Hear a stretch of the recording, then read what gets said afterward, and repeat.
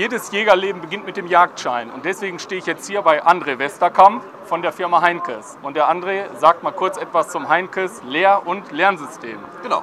Also das System beruht darauf, dass wir die Ausbilder betreuen. Wir haben neun Themengebiete. Diese Themengebiete werden von uns bearbeitet und die Ausbilder werden von uns dementsprechend geschult, verwenden die Ausbildungsunterlagen und dementsprechend haben die Jungjäger ein unheimlich breites Feld zu lernen. Okay, wie ist denn der Einstieg für mich als äh, Jungjäger oder als angehender Jungjäger? Was mache ich? Wie starte ich mein Jägerleben? In der Regel sollte er sich damit informieren, wo möchte er den Jagdschein machen.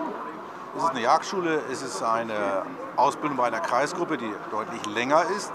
Wie unterstützt mich Heinkes Lehrsystem dabei?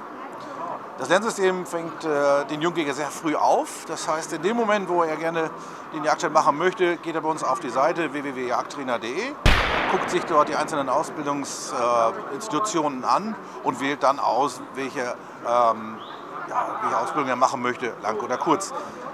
Dann hat er die Möglichkeit, die Themengebiete zu erlernen, sowohl im Print als auch online im Jagdtrainer. Und selbstverständlich findet er den Jagdtrainer auf Facebook, äh, wo er jeden Tag neue Rätsel findet, wo er sich wirklich mit der Jagd anfreunden kann. Gucke ich direkt mal drauf. Super. Das ist André Westerkamp von der Firma Heinkes. Gerne. Am Stand von Patrick Kastner, Jagdfilmer.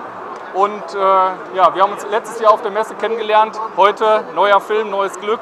Erzähl mal was zum neuen Jagdfilm, den du gemacht hast. Ja, wir haben mehrere Sachen in der Pipeline. Äh, wir haben jetzt einen Film über Büffeljagd gemacht in Tansania im Vergleich zu Südafrika, dass man mal so die Unterschiede sieht. Wie wird in Tansania auf Büffel gejagt, wie wird in Südafrika auf Büffel gejagt.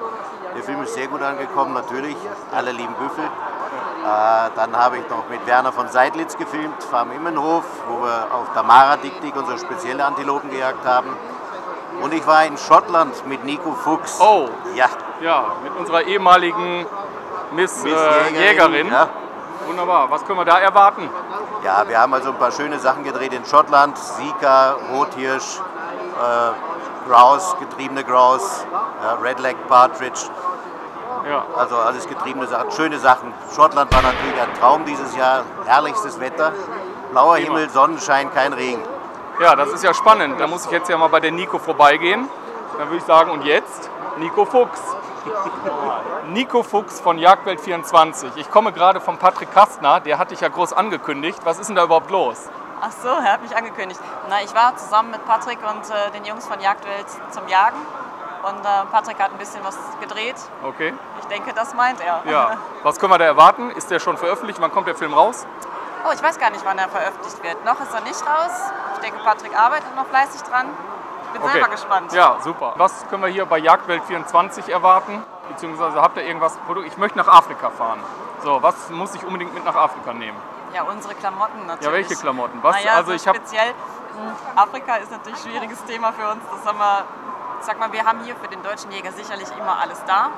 Das findet, ja, da findet er eigentlich alles, was er braucht. Und der Afrika-Jäger, der guckt einfach mal in den Internetshop bei uns und dann wird er auch fündig.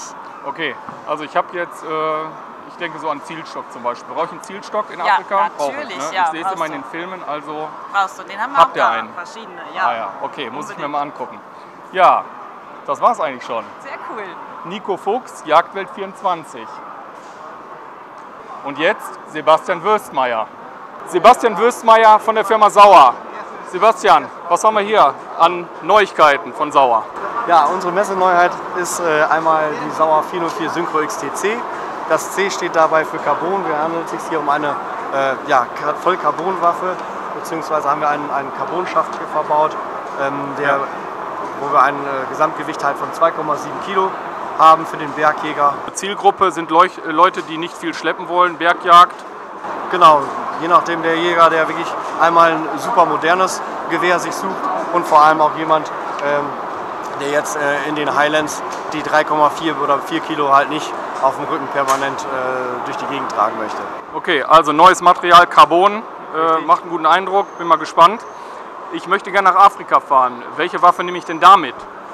Für die Afrika-Waffe letztendlich können wir auch die 404 empfehlen natürlich, weil wir haben ein komplett modulares Gewehr. Das heißt, ich kann innerhalb von Sekunden den Lauf ausbauen, den ich jetzt hier gerade drin habe, mit einem, ähm, mit einem gefluteten Lauf und kann den ersetzen durch einen Big Game Lauf, zum Beispiel in 375 Holland und Holland.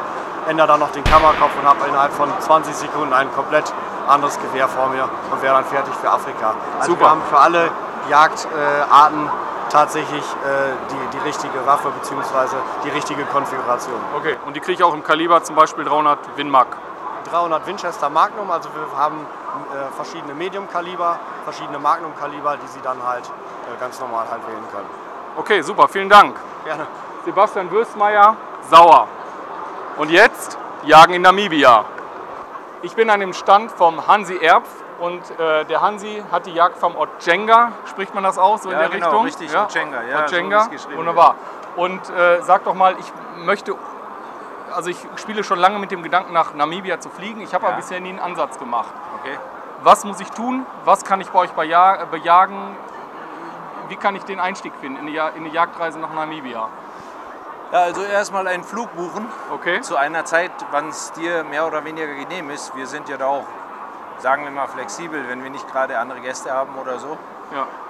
Also das geht relativ unkompliziert. Das geht einfach, relativ einfach mehr oder weniger Ja sagen. Mehr oder weniger Ja sagen Was- und dann geht's los. Was kann ich denn bei euch bejagen und, und brauche ich bestimmte Voraussetzungen? Muss ich irgendwas wissen, eine bestimmte Waffe haben oder was? Also, Ja, also alles so, man kann seine eigene Waffe mitbringen, man kann aber natürlich auch bei uns eine Leihwaffe kriegen. okay. Alles am Kaliber von 3006 aufwärts ist eigentlich in Ordnung Mhm. mit einer guten Optik und dann passt das schon. Dann unsere normalen einheimischen Wildarten, die wir so bei uns rumlaufen haben, die üblichen sind halt hier Kudu, Oryx, Warzenkeiler, Hartebeester, Ja. Elands Okay. und dann noch so ein paar Exoten vielleicht wie Wasserböcke, Impala und dergleichen. Hört sich spannend an. Ja, ich hätte ja Zeit im April. Habt ihr da noch was frei? April ist noch gut. Ja? April passt. Ja? April passt. April passt. Ja, dann müssen wir natürlich, brauche ich ein gutes Angebot. Machst du mir noch ein gutes Angebot? ja, kann ich machen. Ja. Hand drauf. Hand drauf. Ja. Dann hoffe ich, kommst du auch wirklich. Dann, dann komme ich im April, wenn wir das jetzt besprechen. Dann, Alles ma- klar, dann mache das ich können das. wir festmachen. Ja, Ja. wunderbar. Ja. Ja, also, äh, so schnell macht man eine Jagdreise nach Namibia klar. Ich bin total gespannt, ähm, wie das abläuft. Also ich Ja. habe schon seit Jahren darüber nachgedacht, dass man, also das gilt jetzt, ja? Das gilt, das also ist jetzt April, dann fest. Ja. ich, ich kümmere mich jetzt um Flüge April, du machst Alles mir ein gutes klar. Angebot und Ja. dann geht die Post ab. ja, Wunderbar. Gerne. Ja, also Hansi Erb, Jagdfarm Ojenga, Namibia, geht los. ja, super. Alles klar. Jetzt bin ich im Grunde nur einen Stand weitergegangen. Direkt nebenan äh, ist der Sohn von dem Hansi Erb und das ist der Hans Werner. Richtig? Hans Werner, was bietest du an? Also ich sehe Oase, Genau. Jagdfang am, am Waterberg. Was bietest du an? Richtig, also wir sind im Prinzip genau wie mein Vater auch, also eine Jagd- und Gästefarm, wo wir ähm, ganz normal die Jagd anbieten. Ähm, als Zusatz natürlich zur normalen Gewehrjagd für die Gewehrjäger, aber auch noch unter anderem mit Pfeil und Bogen. Okay. Bogenjagd ist ein spannendes Thema, in Deutschland natürlich noch verboten, aber ich weiß, das Interesse der Bogenjäger oder der, der Leute, die sich für Bogenjagd interessieren, wird immer größer. Richtig? Also wie kann ich da einen Einstieg, also wenn ich deinen Vater, ich habe ja jetzt gerade eine Reise mehr oder weniger zugesagt. Genau, die hast Wie du weit, bist du, ent- gesagt. wie weit bist du entfernt von, vom Vater? Also wir sind gerade mal 18 Kilometer auseinander. Wir, Okay. Die Farmen grenzen sogar aneinander. Das heißt, dass man kann das als Gesamtjagdgebiet betrachten Okay. auch, ähm, was eigentlich von Vorteil ist. Wie, wie groß Und, ist das ähm, Gebiet überhaupt? Also das Gesamtgebiet sind 20.000 Hektar. Und ähm, ja, mit der Bogensache, das ist eine ganz spannende Sache. Wie gesagt, wie du schon gesagt hast, in Deutschland noch verboten ähm, oder nicht erlaubt. Das ist der Vorteil natürlich, dass man das aber bei uns machen kann. Man kann es bei uns auch ähm, zum Teil erlernen. Ich Ja. denke mal, wenn ihr da unten seid, äh, bin ich sicher, dass wir da ein bisschen was machen können und ich kann dir das mal so ein bisschen näher beibringen. ja, super geil. Ja, das meine ich natürlich äh, äh, ultra gerne. Ja, Und äh, da bin ich ja extrem gespannt. Also Namibia-Reise, jetzt auch noch mit Bogenjagd. Äh, ganz genau.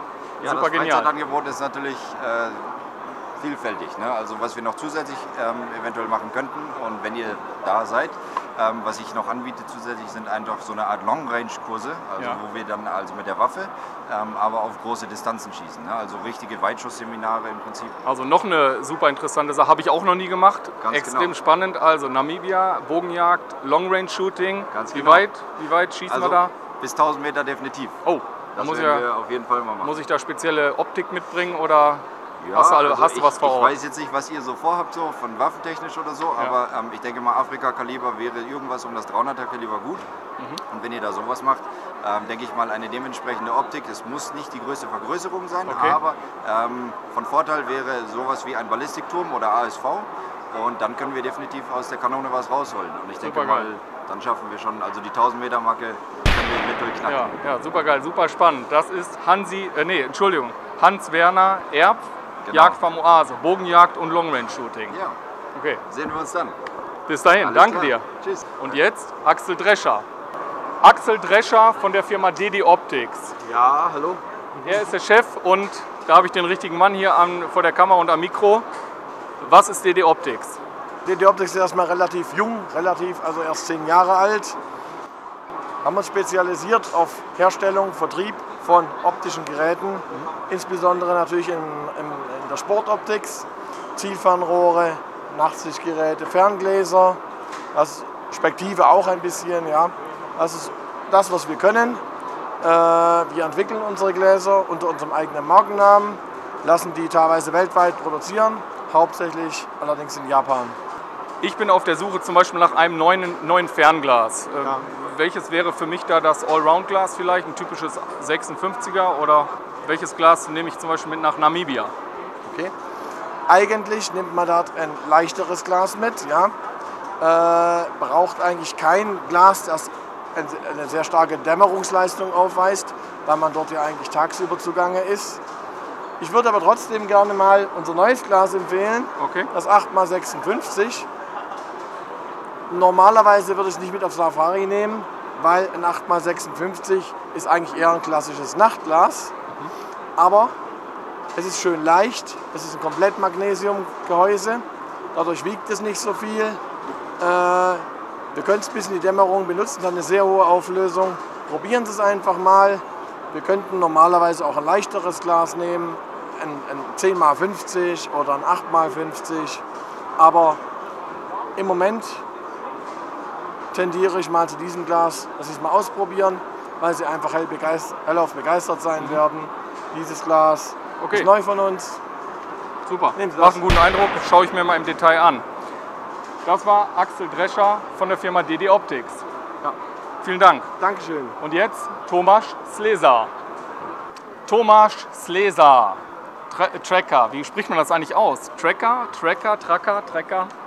Sag's mir. Ja, also wir nennen das Trecker. Trecker. Trecker. Mit, dem, mit E. Okay, also Firma Trecker. Der Thomas, äh, wir kennen uns jetzt schon ein bisschen länger über die Messen und ich bin auch ein großer Fan von dem Gerät, das wisst ihr. Äh, Der Thomas war auch äh, zuletzt bei uns Jagen im Revier, war sogar erfolgreich. Schaut euch mal die Jagd Total Folge 5 an, da könnt ihr ihn sehen, den neuen Star am Jagdvideohimmel. Okay, Thomas, was gibt's Neues von den äh, Treckergeräten? Ja, also Kurz, wir haben knackig. das kurz knackig. Wir haben das neue G1000 Maximal. Das ist das äh, erste Hundeortungsgerät der Welt, was es auch wirklich auf äh, 2G und 3G-Netze zugreift. Äh, es ist vor allem nachhaltig orientiert, weil die 3G-Netze immer äh, mehr ausgebauter werden und dann sozusagen irgendwann mal äh, vorrangig sind. Thomas, wie ist aus deiner Sicht die Messe gelaufen? Werden die Dinger viel gekauft?